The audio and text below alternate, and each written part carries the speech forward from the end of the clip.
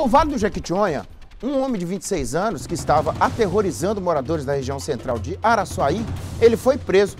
Segundo a polícia, em desfavor dele havia um mandado de prisão em aberto, né? Pelo crime de homicídio. Fantoni Peso está de volta. É, ele já tinha uma ficha então, né, Fantoni? Mas estava aterrorizando aí, então não pode, né? É, Nicomedes, o cidadão acha que vai impor o terror na parte conhecida como a parte histórica de Araçuaí, na região central. Tem uma parte lá que é conhecida como parte histórica. Uns falam parte velha, eu não gosto muito de usar esse termo, mas é a parte histórica da cidade que cresceu, mas o cidadão estava num determinado ponto lá e decretou até, decretava até toque de recolher. Agora presta bem atenção, Nicomedes, decretar toque de recolher porque ele queria comandar a área para colocar lá um ponto de venda de entorpecentes.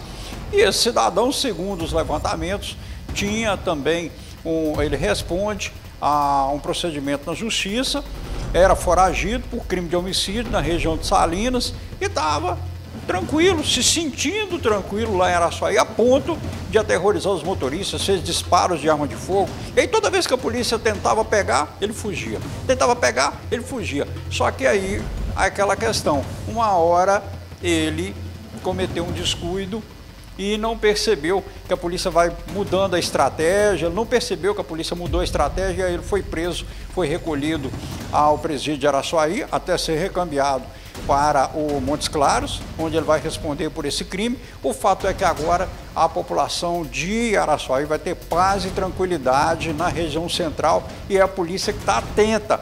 É aquilo que a gente sempre fala, às vezes as pessoas não vê a viatura, não vê as equipes, a partir de agora tem uma operação natalina, policiais posicionados em, em vários pontos, em vários, vários pontos da cidade, em todas as cidades dos 60 municípios do Nordeste Mineiro, e agora cabe à sociedade também colaborar.